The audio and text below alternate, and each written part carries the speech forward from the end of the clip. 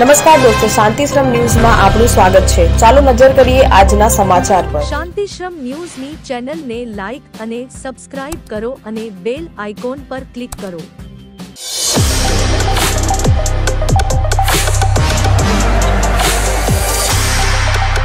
ડીસા તાલુકાની યાવરપુરા દૂધ ઉત્પાદક સહકારી મંડળીમાં ઉચાપત થઈ હોવાની ફરિયાદ નોંધાઈ છે. યાવરપુરા મંડળીમાં ઓગણીસ અગિયાર બે હજાર અઢારના રોજ વ્યવસ્થાપક કમિટી ઠરાવ કરી મંત્રી તરીકે દિનેશભાઈ સુથાની નિમણૂક કરી હતી.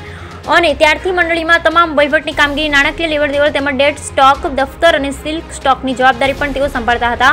ત્યારબાદ બે દસ બે હજાર એકવીસના રોજ દિનેશભાઈ સુથારને છૂટા કરતા તેમણે મંડળીના તમામ હિસાબો વ્યવસ્થાપક કમિટીને રજૂ કર્યા, જેમાં તમામ હિસાબો બાદ ચાર પોઈન્ટ સુડતાલીસ લાખ રૂપિયાની સિલક હાથ પર રહેતી હતી, જે સિલક વ્યવસ્થાપક કમિટી અને ચેરમેન બેંકમાં જમા કરાવવાનું જણાવ્યું હતું.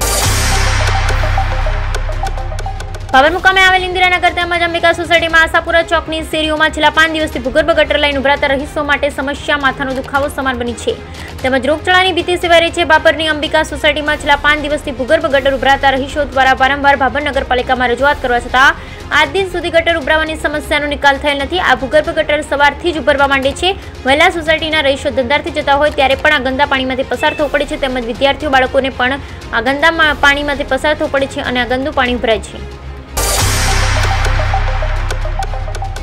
સામાજિક ન્યાય અને અધિકારીતા વિભાગ અને સમાજ સુરક્ષા ખાતું ગુજરાત રાજ્ય દ્વારા બનાસકાંઠા જિલ્લાના પાલનપુર ખાતે ચાલતા ચિલ્ડ્રન હોમ ફોર બોયઝ સંસ્થામાં છ વર્ષથી અઢાર વર્ષ સુધીના કાળજી, સંભાળ અને રક્ષણની જરૂરિયાતવાળા બાળકોને રાખવામાં આવે છે. Palanpur children home for boys ખાતે છવ્વીસ જૂન આંતરરાષ્ટ્રીય માદક દ્રવ્ય નિષેધ દિવસની ઉજવણીના ભાગરૂપે નશામુક્ત ભારત અભિયાન હેઠળ જિલ્લા આરોગ્ય શાખા બનાસકાંઠા અંતર્ગત જિલ્લા તમાકુ નિયંત્રણ એકમમાંથી આવેલ સાયકોલોજિસ્ટ, કાઉન્સિલર તેમજ સોશિયલ વર્કર દ્વારા ચિલ્ડ્રન હોમના બાળકોને તમાકુ વિશેના તથ્યો, તમાકુના પ્રકારો તેમજ તમાકુ અને તેનાથી થતા રોગો, કેન્સરના વિવિધ પ્રકારો, તમાકુ નિયંત્રણ અધિનિયમ બે હજાર ત્રણ તેમજ ધૂમ્રપાન તમાકુનું સેવન છોડવાના ફાયદા વગેરે વિશે વિવિધ સ્લાઇડ પ્રોજેક્ટ દ્વારા સમજાવવામાં આવી હતી.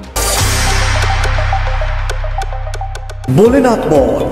આવી ગયું છે દિયોદરની સારી ક્વોલિટી અને વ્યાજબી ભાવનો એકમાત્ર મોલ.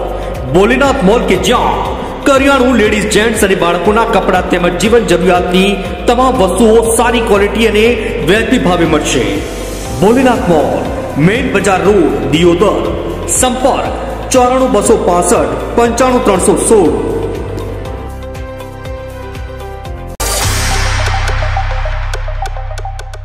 ભાભર તાલુકાના ટેકવાડી ગામે આવેલ ખેડૂતોના ખેતરમાં કેનાલમાં અંડરગ્રાઉન્ડ નાળામાંથી ઠેઠરી જગ્યાથી નાળા તોડી ખેડૂતો ચલાવી રહ્યા છે. ગેરકાયદેસર કનેક્શન, જેના કારણે આવેલ અંદાજિત પચીસ જેટલા ખેડૂતોને પિયતનું પાણી નથી મળતું. ખેડૂતોને પિયતનું પાણી ન મળતા ખેડૂતોએ મીડિયા સમક્ષ તેમની રજૂઆત કરી કે ખેડૂતો ગેરકાયદેસર કનેક્શન ચલાવી રહ્યા છે. એમના વિરુદ્ધ કાયદેસરની કાર્યવાહી કરવામાં આવે અને આ કનેક્શનો બંધ કરવામાં આવે એવી ખેડૂતોએ મીડિયા સમક્ષ રજૂઆત કરી છે.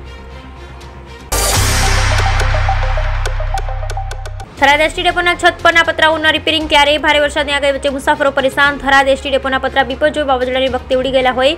તંત્ર દ્વારા રિપેરિંગની કામગીરી કરવાની મુસાફર રાહ જોઈ રહ્યા છે. ભારે વરસાદની આગાહી વચ્ચે થરાદ એસટી ડેપોમાંથી અવરજવર કરતા મુસાફરો અને તેમની સાથેનું લગેજ સાર સામાન પલળવાથી પરેશાન થવાનો વારો આવ્યો છે. એસટી ડેપોના પતરા ઉડ્યાને આજે દસેક દિવસ જેટલો સમય થયો હોવા છતાં પણ તંત્ર દ્વારા રિપેરિંગ કરવાની કોઈ કામગીરી કરાઈ નથી.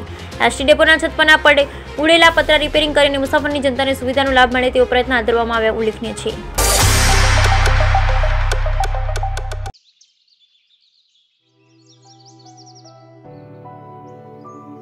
પેલો શીલજ વાળો ફ્લેટ બેસ્ટ હતો. બસ ત્યાં આસપાસ દેરાસર નથી. ઓ યા પેલો ગોલ્ડ સ્કાય વિલા વાળો ફ્લેટ ને? પણ ત્યાં હવે દેરાસર આવી રહ્યું છે. યસ ધ ગોલ્ડ સ્કાય વિલાની બાજુમાં જ આવી રહ્યું છે. એક ભવ્ય જૈન શિખરબંધી દેરાસર the gold sky villa an ultra luxurious four and five BHK apartments and duplexes by Samo realty limited at science park Shilaj